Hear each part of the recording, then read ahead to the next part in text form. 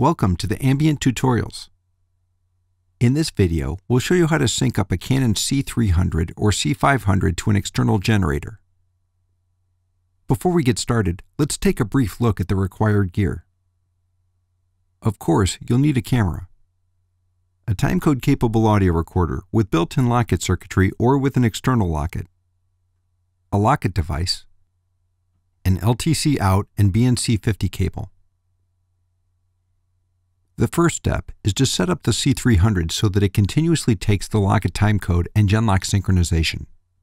As you get started, check and adjust the area settings. To do so, press the menu button. Go down to the function settings, and then scroll down and select the project area where your time base is used.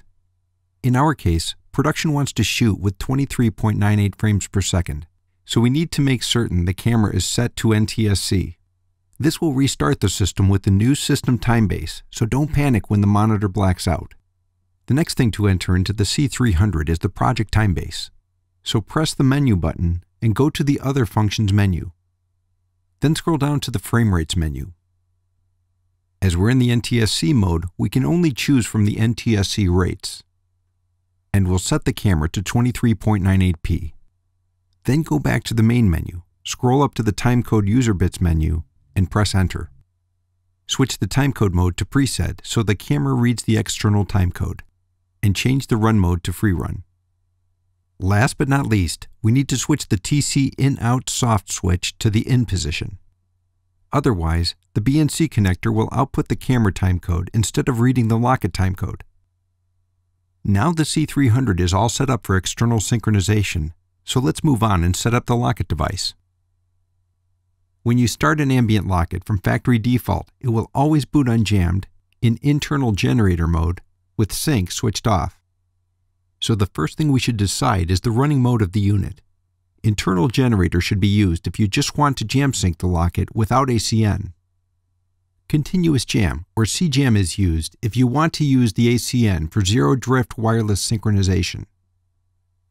And TRX is used for wireless record run timecode setups we want to use CJAM, being the most convenient and accurate mode.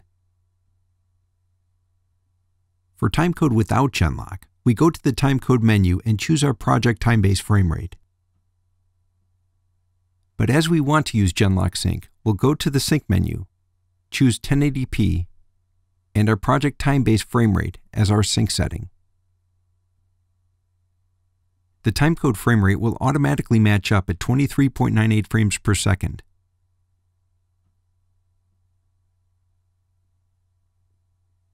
Since we're using the CJAM mode, the ACN is already enabled and working per factory default on channel 18.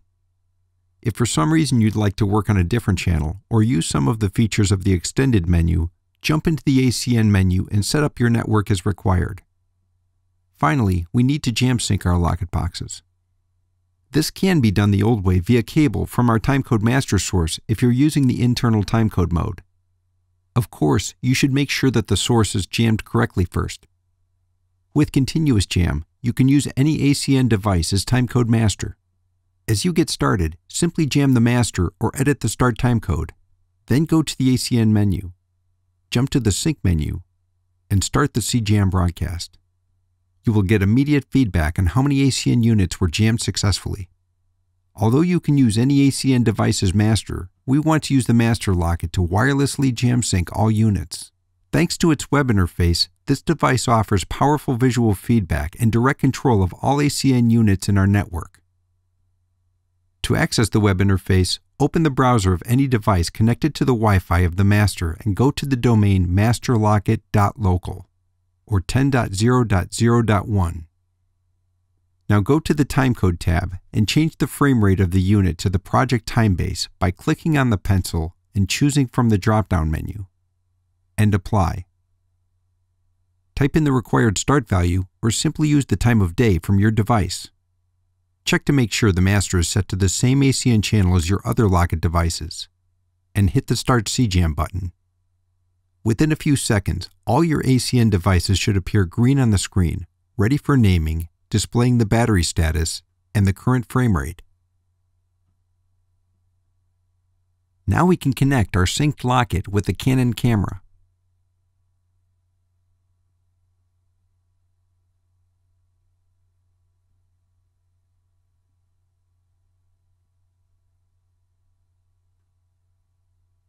The F that's on the right side of the timecode in the upper right corner of the display will change to an E for external.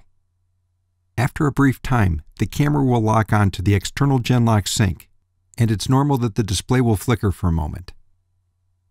When the Canon is locked, Gen will appear to the left of the timecode. When your system is synced like this, your cameras will run for a whole shooting day without drift. In addition, we strongly recommend that you check the synchronization of your system to avoid any issues.